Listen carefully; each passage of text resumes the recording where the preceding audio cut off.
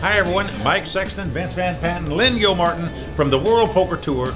We're at the beautiful Gotham Hall in New York City for the Take 'em to School Charity Poker Tournament presented by the WPT Foundation benefiting Education Reform Now. It's a great cause, and you know, there's athletes out there, famous, famous athletes and celebrities, all playing this event. Everybody's putting up big dollars for a great cause. It's very exciting. It's one big party, right? It really is. And how much more fun could it be doing what we love while raising money for a great cause? Let's get out there, guys.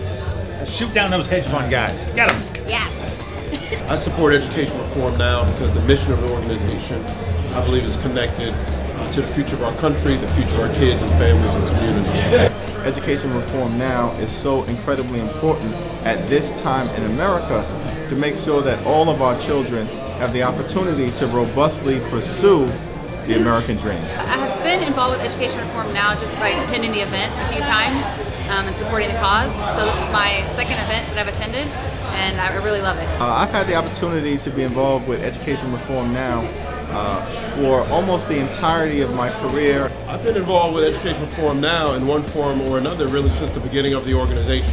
My favorite part of the event tonight is just bringing um, all the poker players together and all the amateur poker players. Uh, it's a lot of fun. Um, all the personalities and some of the celebrities um, all out here for a, a, great cause. What I love most is that people are having a great time and connecting and having fun with one another uh, in support of a cause that's connected to creating opportunities for our young people.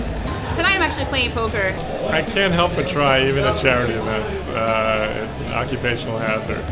It's just a lot of fun when you play at a charity event. You don't take it too serious. and just have a good time. We're also playing in the tournament as well, so we're going to get to mix it up with all these hedge fund guys, all these ex-superstar athletes.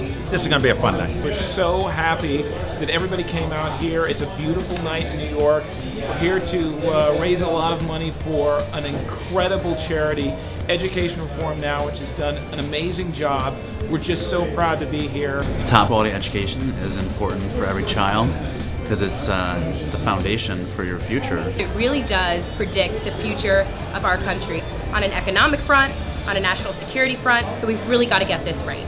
The extent to which we do not ensure that every child has a great education uh, diminishes the future not only for that young person, uh, but for our country as a whole. The great promise of America is that if you work hard, stay in school, stay out of trouble, you have the opportunity to be anything that you want to be in this great country. The key ingredient in terms of that generational transition is education.